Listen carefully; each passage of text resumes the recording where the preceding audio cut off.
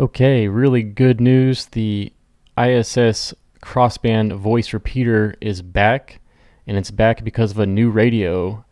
Uh, in March, they sent up a new radio, and it was installed recently, and it was turned on um, earlier today about 2 a.m. Let's see, 1 a.m. UTC, and I actually made some contacts on it, and here you can listen to them.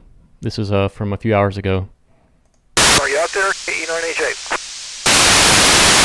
KE9HA, I had the downlink uh, 1 megahertz uh, Kilo Golf 4 Alpha Kilo Victor, Fox Mike uh, yeah, 05. Yeah, okay, doing good, John. Thanks for reporting us on uh, on Twitter on this. I never would have uh, would have guessed it. Yep, yep. Thanks for the contact. KJ, uh, KJ4 KV November Sierra 3 Lima, Fox uh, 20. November Sierra 3 Lima, KG4AKV. Thanks, uh, appreciate you getting on for me. Yeah, no problem. KG4AKV AB1OC. Hello, John. It's Fred, New Hampshire. AB1OC, hey Fred, sounding good, and Fox Mike 05, Cary, North Carolina, KG4AKV. Thanks and stay safe. All the best. Okay, so this is how I found out about it. This message was posted by Rock uh, VK2LHC, and it was posted in this Facebook group right here. And I commented, I was like, whoa, is the new radio installed? And it was. And uh, I didn't know that initially, but um, I went on Twitter and I made a comment. I said, uh, look, I just saw this most this message on Facebook. Does anybody know anything about this? Um, actually, I didn't say that, but I said, hey, look, it was on and it apparently has a, a, new frequency.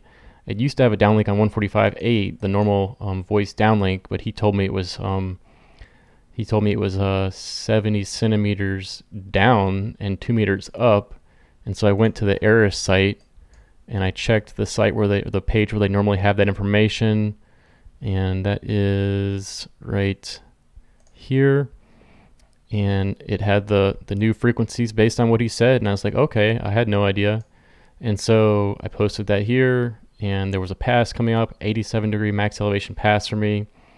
And I messaged um, Steve in S3L just to see if he would get on because I didn't know if anybody else knew about it, and I wanted to have a contact if if it was actually on. I didn't want to sit there and have nobody be on there. And so as you can see, I got on there, and I also got um, KE9AJ. He saw my tweet and he joined, and I made a contact with him and there were several other people I made contacts with, including the uh, the head of ARISS, um, Frank Bauer, KA3HDO. I don't think I've ever talked to him on the radio before, so it was quite nice to talk to him over the voice repeater. I'll play the rest of that pass after um, I give a little information about what's going on here. So it's officially been um, commissioned, you I guess you could say. Now it was launched up to the space station at March and it took a long time to get it installed, unfortunately. But it's up there. It sounds great. The signal's really strong. I don't see any issues with it, or I hadn't. I didn't notice any issues with it. So you can read more about it here. But basically, what happened was there's this whole new system. It's not just a radio.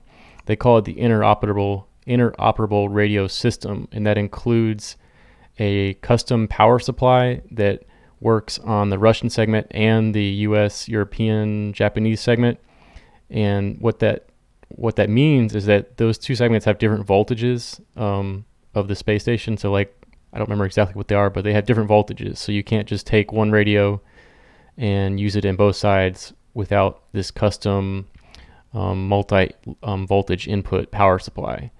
And that took a long time to build, and they also had to modify the um, the Kenwood D710 GA transceiver to work uh, in the environment up there. There's a lot of stuff you have to do. You have to test, uh, make sure it doesn't um, off gas and smell in a bad way. All the, the plastic components, for example. So it's a really big deal. It took a lot of work. If you read about it more, you can see. And they actually still need money. I've donated several times, or at least a few times. So please donate if you can. Really grateful to ARISS and everybody else that's involved with making this happen. So that's pretty much it. Um, a lot of messages on Twitter about this um, since I posted, and other people found out about it.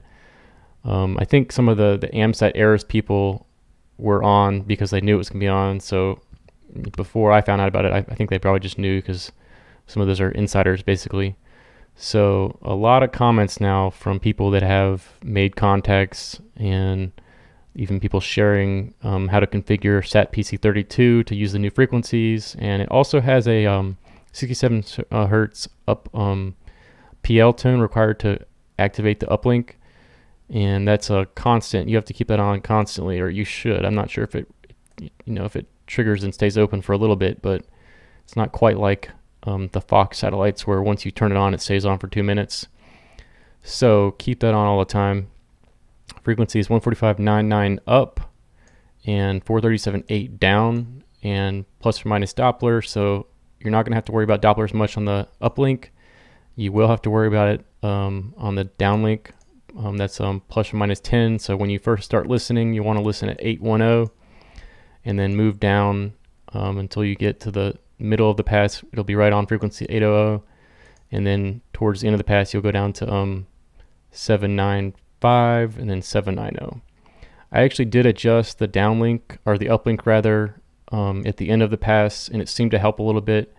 So I, I, adjusted my radio 5 kilohertz up, so 995, and that seemed to help. I'm not sure if it's required for all radios, but it, it worked for me. Um, you might have to um, start out a little lower too at the beginning of the pass. I actually had the downlink um, off by a megahertz, as you heard earlier, so I missed the first part of the pass. Um, but it, I was able to get into the pat, into the satellite down to five degrees or so, a little bit lower. If you have a very clear view of the horizon, you'll probably be able to hear it all the way to the to zero degrees.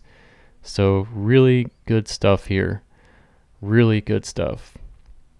All right, let's um watch and listen to the rest of that pass.